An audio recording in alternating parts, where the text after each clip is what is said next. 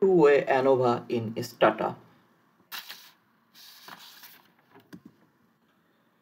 We use two-way ANOVA to see whether dependent variable significantly differs between different groups of two independent variables. The main purpose of two-way ANOVA is to see whether there is an interaction effect between two independent variables on dependent variable. Let's see an example how can we perform two-way ANOVA in Stata. So this is the Stata data file and you see that um, we have three variable. Income is our dependent variable so this is actually in thousand pound and this um, income this is actually continuous in nature and I want to see whether this income significantly varies according to the occupation and education. As well as we also want to see whether there is an interaction effect of occupation and education on income. Now you can see this occupation and education these are actually uh, two independent variables and both are categorical and each of these independent variable has several group. So basically occupation has three group and uh, for example um, two means the government jobs three could be business one could be private job.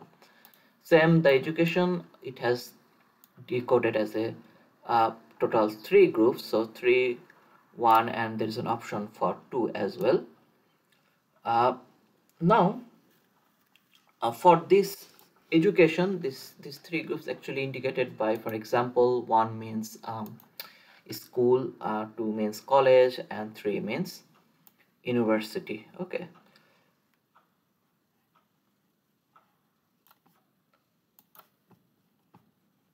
Let's perform this two-way ANOVA in Stata to do this, I have to type the command ANOVA and then my dependent variable which is actually income.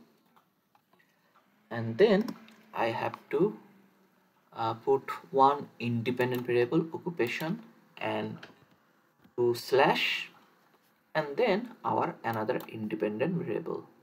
Okay?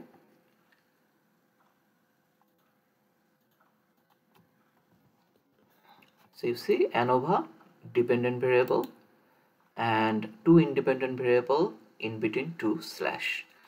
And then if you press enter you will get the result of the two-way ANOVA now um,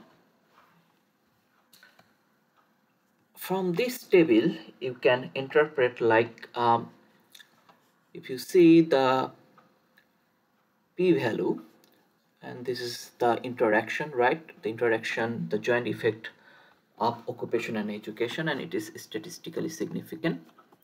And the occupation uh, this is also statistically significant at 5% level but education is not statistically significant. That means if I want to explain this table this means uh, income this actually significantly varies according to different groups of occupation okay? Because it is statistically significant. However uh, the income it doesn't significantly differ according to the uh, education category for our sample data because it is not significant. However uh, occupation and education these two variables can jointly affect our dependent variable and it is statistically significant you see it is less than 1% or even less than uh, 0.01% right? Now if you want to see the um, main difference we can we can perform the post hoc analysis.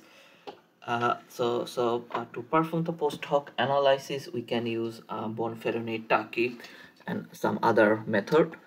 So for for this example um, let's see uh, whether uh, how these actually different groups of the occupation actually differ. Because uh, education it, it says that non-significant so so we don't need to actually see the difference between the mean effect of the different groups under the education because it is not non-significant however since the occupation this is statistically significant then we can see uh, which group actually significantly uh, differ uh, than the other groups in terms of the income. So to do this I can uh, write uh, PW mean and then our uh, dependent variable which is actually income. And then comma over uh, the variable that that is the independent variable. And um, we can we can perform in terms of education but but I says I said earlier but it is it is uh, not necessary because it is uh, non-significant. So I will, I will actually use this occupation the significant one. So I put this significant independent variable and then after the bracket I can write m compare.